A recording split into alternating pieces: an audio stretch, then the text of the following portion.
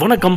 இன்றைக்கி நம்ம என்ன பார்க்க போகிறோம்னு பார்த்தீங்கன்னா நம்மளுடைய நிலம் நம்மக்கிட்ட தான் இருக்குதா? அதுக்கு தேவையானது பட்டா சிட்டா அதை எப்படி ஆன்லைனில் வாங்குறது? அதை பற்றி தான் இந்த வீடியோவில் முழுக்க முழுக்க பார்க்க போகிறோம் அதை பார்க்கறதுக்கு முன்னாடி இன்னும் எங்கள் சேனலை சப்ஸ்கிரைப் பண்ணலைன்னா சப்ஸ்கிரைப் பண்ணிவிடுங்க கூடவே பெல் பட்டனை அழுத்திடுங்க.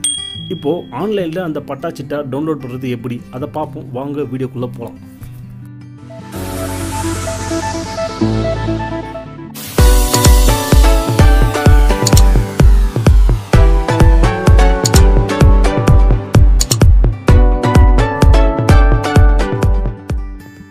நம்மளுடைய நிலம் சம்பந்தமான நில ஆவணங்களை எளிமையாக எப்படி டவுன்லோட் பண்ணுறது அதை எப்படி நம்ம சரியாக வச்சுக்கிறது அதை ஜெராக்ஸ் எடுத்து வச்சுக்கிட்டா என்னென்ன நன்மை இருக்குது அது எல்லாத்தையுமே பார்ப்போம். வாங்க. இப்போ பார்த்தீங்கன்னா தூங்கி கொண்டிருக்கும் போது கால்களை ஆட்டி கொண்டு இருக்கணும் அப்படின்னு சொல்லுவாங்க. ஏன் அப்படின்னா அந்த அளவுக்கு உஷாராக இருக்க வேண்டியது அந்த அவசியத்தை வலியுறுத்தும் இந்த வார்த்தை யார் சொல்லுவாங்கன்னு பார்த்தீங்கன்னா அதிகமாக நம்மளுடைய கிராமத்தில் தான் சொல்லுவாங்க. யாருக்கு இது பொருந்ததோ இல்லையோ கொஞ்சோண்டு நிலம் வச்சிருந்த எல்லா மக்களுக்குமே இது பொருந்தும் அப்படின்னு சொல்லலாம். இந்த காரணம் அப்படின்னு பார்த்தீங்கன்னா தவறுதலாகவோ அப்படி இல்லைன்னா திட்டமிட்டோ வேண்டுமனே நம்மளுடைய நிலங்களை பட்டா போடுவது பத்திரம் போடுவது இந்த மாதிரியான விஷயங்கள் நடந்துக்கிட்டே தான் இருக்குது. அதனால தாங்க உங்களுடைய நிலம் தொடர்பான வருவாய் ஆவணங்களை அவ்வப்போது நாம் சரிபார்த்து வச்சுக்கிறது நமக்கு நல்லது. அப்படி இல்லைனாலும் டவுன்லோட் பண்ணி வச்சுக்கிறதும் நமக்கு ரொம்பவே சால சிறந்ததுன்னு சொல்லலாம். இப்படி நம்மளுடைய நிலம் தொடர்பான அந்த ஆவணங்களை அதாவது பட்டா சிட்டா அதை எப்படி டவுன்லோட் பண்ணுறதுன்றதையும் பார்ப்போம். ஆன்லைனில் டவுன்லோட் பண்ணுறது எப்படின்னு பார்த்தீங்கன்னா மொத்தம் நாலு ஸ்டெப்பில் இந்த பட்டா சிட்டா அதுக்கப்புறம் புல வரைபடம் ஆகியவற்றை டவுன்லோட் பண்ணிடலாம். அந்த நாலு ஸ்டெப்புலையுமே இங்கே நான் வரிசையாக சொல்லிகிட்டு இருக்கோம். ஸ்டெப் ஒன்று அதில் பார்த்தீங்கன்னா ஆன்லைனில் பட்டா சிட்டா பெற முதலில் இதற்காக நீங்கள் தமிழக அரசு மின்னணு சேவைக்கான இணையதளத்துக்கு போகணும். அதாவது e services T N dot gov dot in அப்படின்ற முகவரியை நீங்கள் ஓப்பன் பண்ணணும். அதாவது உங்களுடைய ப்ரௌசரில் ஓப்பன் பண்ணணும்.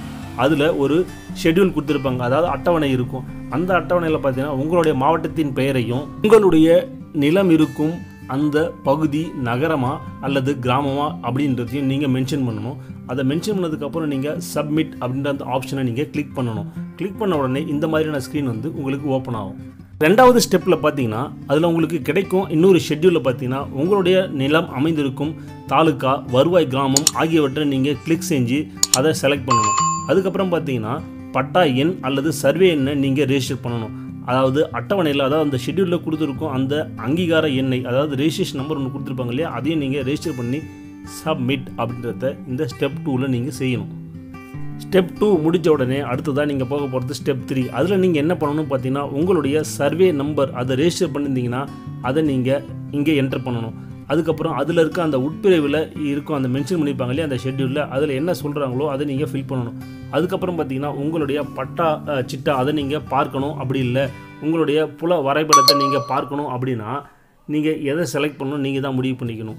ஒன்று அந்த புல வரைபடத்தை நீங்கள் செலக்ட் பண்ணணுமா? அப்படி இல்லை பட்டா சிட்டா அதை நீங்கள் பார்க்கணுமா? அப்படின்றத நீங்கள் முடிவு பண்ணி செலக்ட் பண்ணிக்கங்க. அதை கிளிக் பண்ணிங்கன்னா உங்களுக்கு அடுத்த பேஜ் ஓப்பன் ஆகும். அதாவது ஸ்டெப் ஃபோர் அதாவது கடைசி ஸ்டெப் அடுத்ததாக இருக்க இந்த ஸ்டெப் அதாவது நாலாவது ஸ்டெப்பில் பார்த்தீங்கன்னா அந்த பட்டாவை நீங்கள் கிளிக் பண்ணி ஓப்பன் பண்ணியிருந்தீங்கன்னா உங்களுக்கான அந்த பட்டாவுடைய ஜெராக்ஸ் வந்து உங்களுக்கு டிஸ்ப்ளே ஆகும். இதில் பார்த்தீங்கன்னா நீங்கள் புல வரைபடம் கேட்டிருந்தால் அதனுடைய ஜெராக்ஸ் வந்து உங்களுக்கு டிஸ்ப்ளே ஆகும். நீங்கள் எது வேணுமோ உங்களுக்கு ஒன்று அந்த பட்டாச்சிட்டா வேணுமா? அப்படிலாம் அந்த புல வரைபடம் வேணுமா? அதை நீங்கள் செலக்ட் பண்ணியிருந்தீங்கன்னா அதுக்கேற்ற மாதிரி உங்களுக்கு டிஸ்ப்ளே வரும். அந்த டிஸ்பிளே பொறுத்து நீங்கள் டவுன்லோட் பண்ணிக்கலாம்.